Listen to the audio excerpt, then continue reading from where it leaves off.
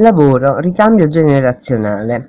Secondo il rapporto dell'Osservatorio Statistico dei Consulenti del Lavoro, non sempre le professioni sono sostituibili.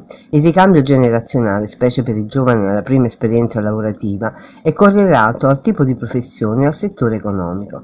Di conseguenza, non sempre agevolare la pensione anticipata dei lavoratori anziani aiuta a contrastare la disoccupazione giovanile.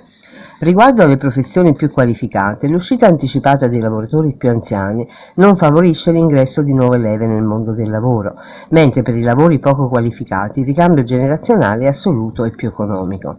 Per professioni quali quelle di legislatori, imprenditori, impiegati di alta dirigenza, intellettuali, scienziati, impiegati, conduttori di impianti, operai, conducenti di veicoli e militari, quando si va in pensione c'è un ricambio di meno della metà della forza lavoro, mentre sono in espansione con cambio generazionale assicurato le professioni di tecnici di vendita e distribuzione, professioni sanitarie e riabilitative, i fisioterapisti, i podologi, ortottici e terapisti della riabilitazione psichiatrica.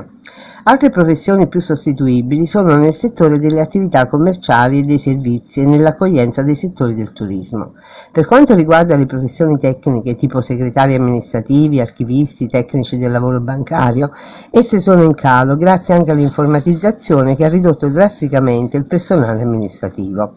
Le professioni legate all'innovazione tecnologica come programmatori, disegnatori industriali e esperti di informatica sono in netto aumento.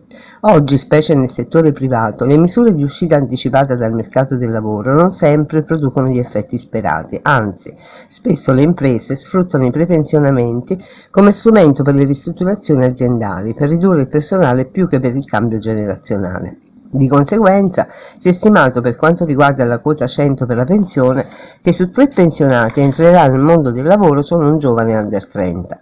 Con il cambio attuale di governo si eliminerà a pari la quota 100, ma siamo tutti in attesa di nuove disposizioni per poter andare in pensione. Notizie tratte da pmi.it, portale web italiano di informazioni legate alla vita d'impresa. Teresa Bonazzi.